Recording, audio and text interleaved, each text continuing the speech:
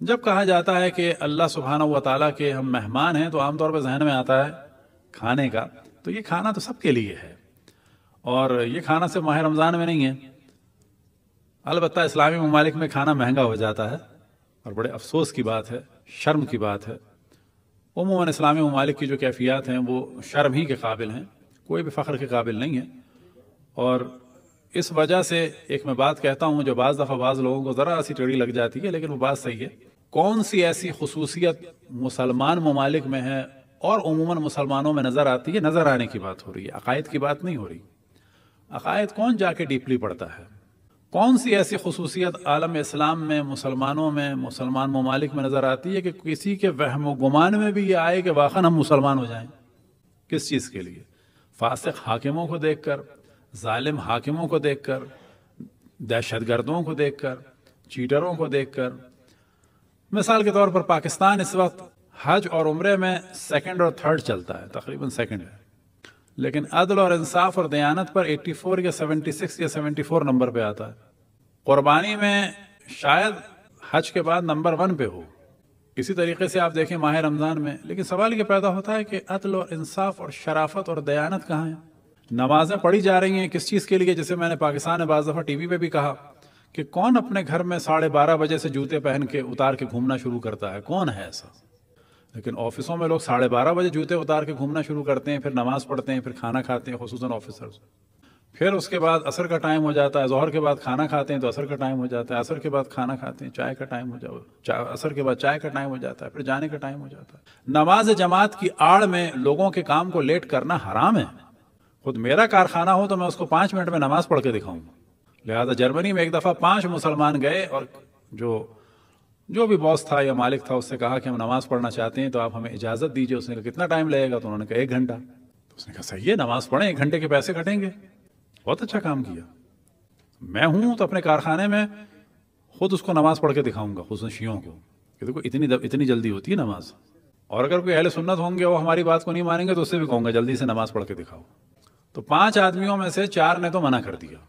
आखिरी वाले ने एक घंटे के पैसे कटवाने को कबूल किया, लेकिन बाद में उसने कहा कि आपके मैं पैसे नहीं काट रहा क्योंकि आप वाकई नमाजी थे। माह रमज़ान में जो काम होता है, इसकी खुल के मुखालफत करनी चाहिए कि ऑफ़िस अगर बंद हो रहे हैं, फ़र्ज़ करें, दो बजे। किसने कहा कि दो बजे से पहले नमाज़ वाजिब है? वाजिब की बात हो रही है। टाइम होने की बात नहीं हो रही। नमाज़ जहर जवाल के बाद से लेके कब तक है? असर तक अहल सुन्नत में। तो दो बजे तो असर नहीं होती। अब आप तस्वर करेंगे, दो बजे छुट्टी हो रही है। साढ़े बारह बजे आप काम बंद कर रहे हैं कौन सी शराफत है? कितने लोगों के काम है प्रॉब्लम्स हैं, साइन है, फाइलें रुकी हुई हैं, क्यों जी नमाज़ हो रही है? नमाज़ जो है, नमाज़ नहीं है, ये शैतानियत है ये। काम चोरी है ये। इस्लाम के नाम पे हुंडा कर दी है ये, नमाज़ नहीं है ये। नमाज़ किसी को पढ़नी है तो माह रमज़ान में दो बजे तक परफेक्ट तरीके से कंप्लीट एफिशिएंसी के साथ काम करे पब्लिक को सर्व करे, उसके प्रॉब्लम को सॉल्व करे फिर उसके बाद ऑफ़िस में या ऑफ़िस के बाहर पार्क में बेशक दो दो घंटे की नमाजें पढ़े। दो घंटे की नमाज़ पढ़े बाहर बाहर खड़ा हो लेकिन काम के दरमियान लोगों के काम को डिस्टर्ब करके नमाज़ पढ़ना सुन कोई कमाल नहीं है। तो ये चीज़ें वाजे होनी चाहिए और यहाँ पर भी ये चीज़ें ऑफ़िस वगैरह में कि नमाज़ को जिल्लत का सबब नहीं बनाना चाहिए। इसी तरीके से हमेशा मैं तवज्जो दिलाता हूँ, कहीं पर भी वज़ू करने आप जाएँ तो खसूस हमारे बरदरान अहल सुन्नत जो हैं अब तासुब में नहीं कह रहे। वो किस, कोई अगर उनको इजाज़त देते, वज़ू करने की तो फिर बुरा हाल कर देते हैं उस जगह का। अब क्या होगा? अगला आदमी अगर कभी इजाज़त मांगेगा तो नहीं देंगे वो। तो कहीं भी अगर आप वज़ू के लिए किसी से इजाज़त लें, खुद हमारी रविश ये है कि मिसाल के तौर पर एक दफ़ा हम फैमिली के साथ सफ़र कर रहे थे तो बाद में एक मोटल था तो उससे हमने कहा कि हम नमाज़ पढ़ना चाहते हैं तो उसने कहा, पढ़ लें। उस वक्त नाश्ता नहीं लगा था तो उसने उसी, उसमें कहा जो डाइनिंग रूम होता है कि अभी तो छः बजे से होगा नाश्ता, पढ़ ले नमाज़। तो पहले बेटी को कराया हमारी मिसेज ने वज़ू वगैरह। और मैंने कहा कि आखिर में ज़ाहिर में तो ख़वातीन कोई नहीं जा सकता था कि पहले, फिर आखिर में ख़ुद वज़ू करें और उसके बाद पूरा जो भी मिरर है और वॉश बेसन है और ज़मीन है, उसको पूरा साफ़ करें। ताकि इस आदमी को जो इस ड्यूटी पे है, ये उसकी एक काम बढ़ ना जाए कि जब वो देखे जाके बाथरूम में तो क्या कि वाकई में तो जलजला आ गया। मैंने भी यही काम किया कि बेटों को कराया वज़ू, उसके बाद खुद वज़ू किया और यकीन जाने वही टिश्यू पेपर लेकर मिरर को साफ़ किया, पूरे वॉश बेसन को उसको साफ़ किया। फिर एक दो लेके ज़मीन पे बाकायदा मैंने पाँव से और हाथ से जितना हो सकता था मॉप किया, बिल्कुल उसको वैसे ही कर दिया जैसे उसने हमको दिया था। ऐसे करेंगे इस्लाम पे अमल तो ये किसी को बुरा नहीं लगेगा। ये सोचना कि जी सारी दुनिया हमारी है, बस हम गुंडागर्दी करते फिरे इसके होटल में भी, इसके होटल में भी तो ऐसी कोई सारी दुनिया हमारी नहीं है। सलवात पढ़े पर मोहम्मद वाले मोहम्मद। अब ये जो ज़ियाफ़त है अल्लाह सुबहाना व ताली की जानब तो ये ज़ियाफ़त जो है, वो दर हकीकत किस लिए है? कल्ब की नूरानियत के हवाले से कि हम अल्लाह सुबहाना व ताली के लिए काम करें, माह रमज़ान में और ज़्यादा बरक़ात हैं, और ज़्यादा रहमतें हैं, और कल हमने डिस्कस किया कि अपने आप को अंडर एस्टिमेट ना किया जाए, ये कहा जाए कि हम वही हैं कि जो 16-16 घंटे एक कतरा पानी नहीं पीते। और इसी नफ्स को कंट्रोल करने से और ज़्यादा नफ्स में और कल्ब में नूरानियत होती है और दर हकीकत जो अल्लाह सुबहाना व ताली की ज़ियाफ़त है तो वो पकौड़ों की नहीं है। वो पकौड़े और सारी चीज़ें तो सारी मखलूक के लिए हैं। ये ज़ियाफ़त है कल्ब की नूरानियत की। और जो सबसे अहम काम है, वाजिब है, वो है कि सही रोज़ा रखना और अदल और इंसाफ के साथ काम करना। बाज़ दफ़ा रोज़े में लोग बिल्कुल झक्की से हो जाते हैं तो ये कोई कमाल की बात नहीं है। अपने आप को इंसान कंट्रोल करे, अपनी जबान को कंट्रोल करे, रोज़ा रखा है, किसी पे कोई एहसान नहीं किया। कोई हमारी इबादत किसी के लिए नहीं है। किसी इबादत के बाद हमारा एटीट्यूड ख़राब नहीं होना चाहिए, अकड़ नहीं होनी चाहिए। इबादत की अल्लाह के लिए की, हमसे क्या चाहते हो तुम? अनफास फ़ी है तस्बीह व नौम फ़ी है इबादत कि तुम्हारे, तुम्हारा सांस लेना इस महीने में अल्लाह सुबहाना हुआ ताला की तस्वीर जैसा है। यानी अगर हम रोज़े में सांस भी ले रहे हैं और वैसे भी सांस ले रहे हैं तो हमें सवाब मिलेगा इसका। लेकिन कब? कि जब सही रोज़ा है। या अगर रोज़ा नहीं रख सकते तो जो हमारी ज़िम्मेदारी है। असल मौजू है कि जो भी हम पर वाजिब है, वो हम काम करें। वह नौमकुम फ़ी है इबादत और इस महीने में सोना इबादत है। और मुराद ये नहीं कि अब सो के गुजार दे रोज़ा। यानी अगर बेहाल हो गए तो सोना इबादत है। बिल्कुल वैसे ही जैसे कहा जाता है कि रोजेदार की जो बू है, मुँह की वो मलाइका के लिए खुशबू है तो इसके माना क्या है कि अपने मुँह में और बदबू डाल लें, लहसन खा के सैरी करें, ना। यानी अगर बू आ जाए, लेकिन क्या हम पे उस बू को बाकी रखना ज़रूरी है कि मलाइका खुश हो? ना, उस बू को खत्म करना ज़रूरी है। ये जो गलत फहमी है लोगों की कि माह रमज़ान में कुल्ली नहीं कर सकते, नहीं, पानी निकल नहीं सकते। जब महसूस हो बू है तो कुल्ली करें।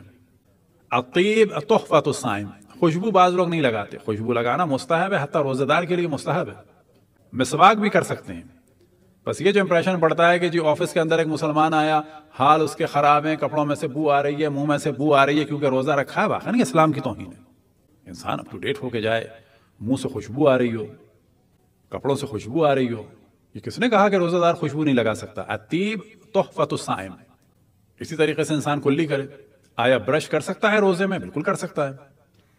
आया किसी भी लिक्विड से कि जो माउथ फ्रेशनर है, उसको यूज़ कर सकता है? बिल्कुल कर सकता है। निकलना मना है। लिहाजा ये जो बाज दफ़ा ऑफ़िस वगैरह में इंप्रेशन पड़ता है कि जी वो एक मुसलमान रोजेदार दाखिल हुआ तो उसके जिसम से और मुँह से बदबू आ रही है बाखा नहीं, इस्लाम की तोहिन इंसान अच्छे तरीके से रहे, हर एतबार से, और ये देखिए उस पर शरी ज़िम्मेदारी क्या है।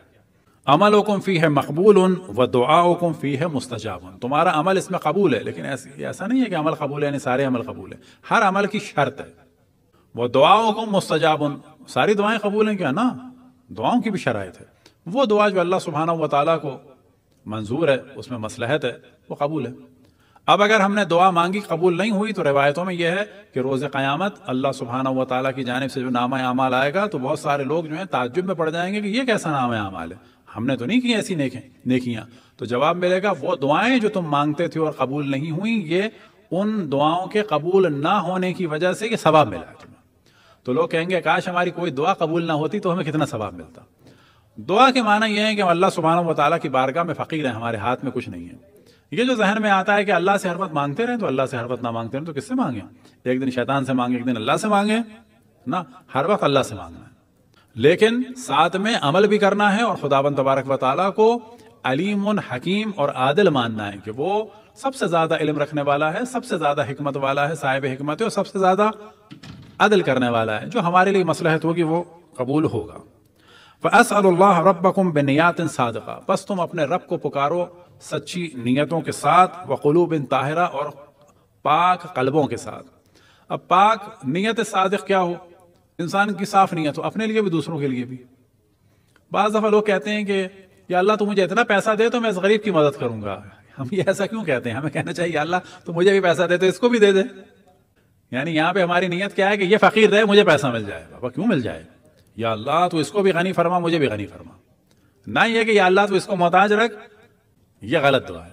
हाँ ये कहा जा सकता है, या अल्लाह, तू मुझे क्योंकि अल्लाह की मसला है दुनिया में कुछ ना कुछ लोग तो गरीब रहेंगे। या अल्लाह, तू मुझे इतना दे। कि मैं लोगों को दे सकूँ। ये सही है। लेकिन बाज लोग कहते हैं, दुआ करें, अल्लाह मुझे दे तो मैं आपको दूँगा। बाबा, मैं क्यों ही दुआ करूँ कि अल्लाह तुम्हें दे? अल्लाह मुझे भी दे, तुम्हें भी दे। ये क्या बात है कि अल्लाह तुम्हें दे और मुझे ना दे? ना, मुझे भी दे, तुम्हें भी दे। दुनिया में भी दे और आखरत में भी दे। युवफ़ुम ले सयाम ही व तिलावत किताब ही कि दुआ करो पाक दिल के साथ और खलूस के साथ, सच्ची नीयत के साथ, कि खुदावन तबारक वाली कामयाब फरमाए किसमें लिस्याम ही कि अल्लाह सुबहाना व ताली के लिए रोज़े रखें और तिलावत कुरान मजीद के लिए। लेकिन जो असल वाजिब है वो स्याम है। इसी वजह से वो हम अहकाम बयान कर रहे हैं। सलवात पढ़ें पर मोहम्मद व मोहम्मद। इरशाद खुदावन तबारक वाली है, या अयुहल्लदीन आमनू, ए ईमान वालों।